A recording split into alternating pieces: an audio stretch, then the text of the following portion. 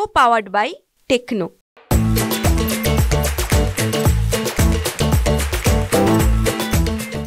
अपक्ष आमदार देवेंद्र भोयार हे सध्या अजितदादा पवार यांच्या भेटीसाठी बंगल्यावर दाखल झालेले आपण त्यांच्याशी थेट बातचीत करणार आहोत. आज तुमची भेट झाली.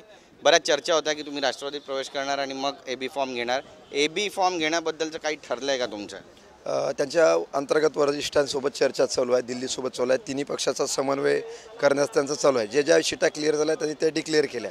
ज्या राहिलेल्या शिटा त्याच्या संदर्भात ते चर्चा करून राहिलेले आहे. जवळपास मला वाटतं काल सतरा ए बी फॉर्म दादांनी वाटप केले.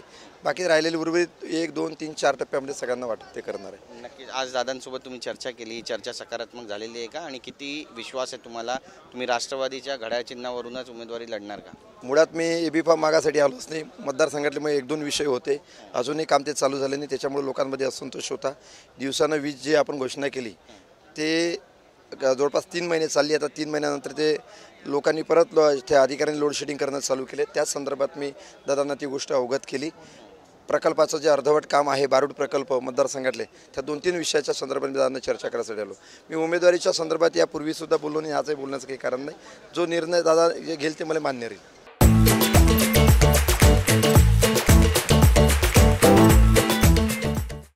दादा घेतील ते मान्य राहील असं म्हणताय पण तुम्ही दादांसोबत कायम उभे राहिलेले आहेत. पाठीराखे म्हणून उभे राहिलेले आहेत. त्यांना साथ देत आलेले आहेत. यापुढे देखील अशी साथ मिळेल. आणि दादा देखील तितकीच साथ तुम्हाला देतील? बिलकुल. पहिल्या दिवसपासून निवडून आल्यानंतर दादांचे जे काम करण्याची स्टाईल आपण पाहिली त्याच्यावर त्याच्यामुळे आपल्याला दादावर विश्वास होता.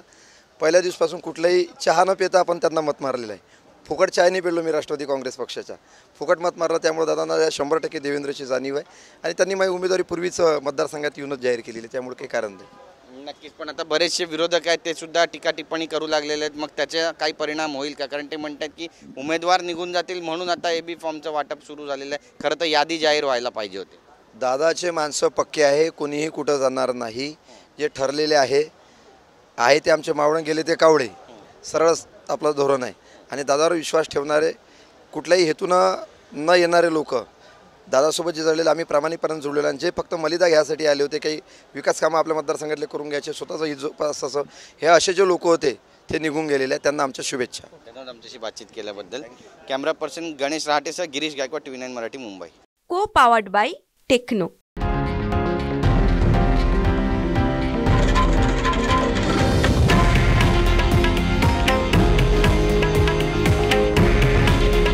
हे आहे देशातील नंबर वन न्यूज नेटवर्क. आणि आपण पाहत आहात टी व्ही नाईन मराठी. काळजी तुमची हित महाराष्ट्राचं.